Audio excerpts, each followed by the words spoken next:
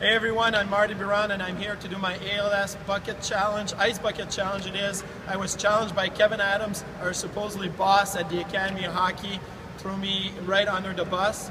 Uh, after doing this, I challenged three of my fellow netminder, Kevin Weekes, who I broadcast with uh, on the NHL Network, a couple of guys I played with, Ryan Miller, and then my last partner, Henrik Lundqvist. So you three are up, you got 24 hours to donate to the ALS research and do the Ice Bucket Challenge.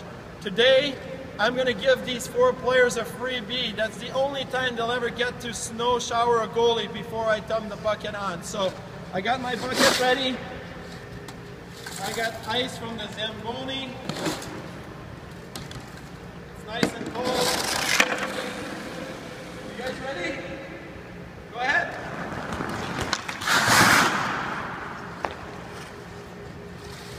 You